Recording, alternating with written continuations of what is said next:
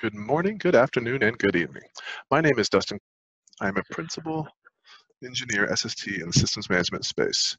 Today I will be showing you how to deploy OpenManage Enterprise on VMware ESXi using vSphere. First, you will need a VMware host with at least 16 gigabytes of available memory, 20 gigabytes of available hard drive space, the OME appliance downloaded, and a little bit of time. So first what we want to do is we want to start by downloading the appliance itself. This will be done on support.dell.com. Put in your service tag, find your category of systems management, and scroll down to see Open Managed Enterprise. Once you see that, you will want to hit the full driver details. And from here, you'll see we have a few options. Uh, the first option is VHD. This is for Hyper-V. Second option is KVM, and that is for Linux. And our third option is OVF, and that is the one that we're going to choose for VMware. So we're going to go download the file. I've already downloaded the file to make it a little bit quicker. Once downloaded, you will want to extract the file. And this just needs to be in a place that's accessible from the vSphere client.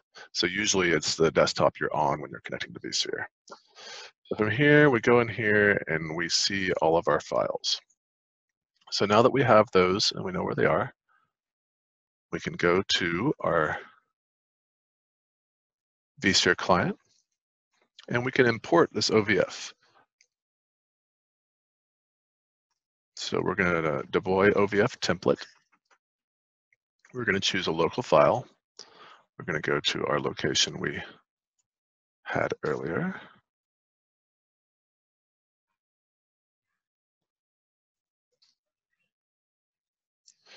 And I find it easiest just to choose all the files.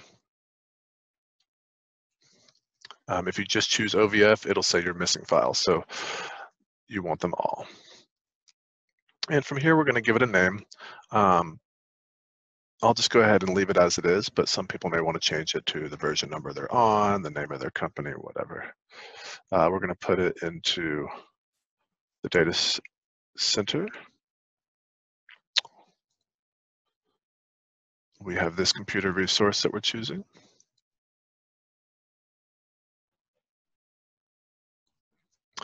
And what you'll see is we have uh, review the details. It'll be 2.4 gigabytes thin and 211 gigabytes thick. So we'll want to choose our storage and um, I'm going to choose thin because I don't want to take up all my hard drive space. And we're going to use this data store. We do want to have a network. Without a network, uh, you have a similar issue. You will actually have to redeploy if you don't put the network on at this time.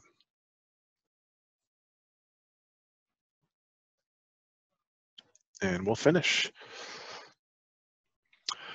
So if we notice, um, after we deploy the OVF, it has to copy all the files over to the data store before it installs it. So that takes a little while. So we're going to let that go.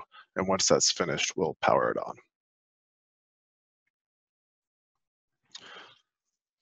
So the appliance is done importing. Now we'll go ahead and power it on. And we'll give it a little time to fully power up. So once your VM is fully powered up, it will come to the EULA page and user license agreement. You'll want to press tab twice to accept that. You'll want to use the whatever language you're using. For us, it'll be US. And we'll create a password. And this password must not be forgotten. If it is forgotten, you will have to redeploy the appliance. So the next step will be to set networking parameters.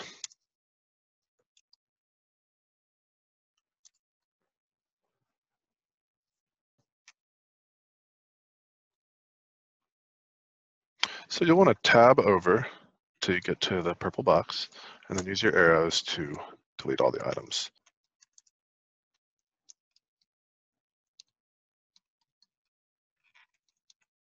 So that's our main IP that I have. We're going to put in a gateway.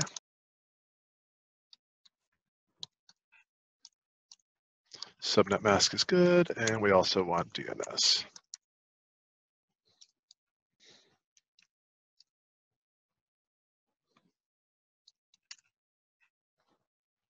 And we can choose to register with DNS if we'd like to.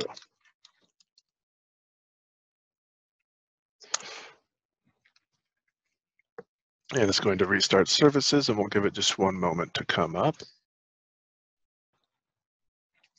So you'll connect to the IP address in a web browser. And once you do that on the first load, you should see this screen loading services starting up. Services has started up. Now it's time to log in. Username will be admin. And the password will be whatever you set earlier. So now we're on the very first initial setup page. So our initial settings here are going to be your time and your proxy. And then you're able to start going into discovering devices. Um, we will have discovering devices and the initial settings covered on a future video.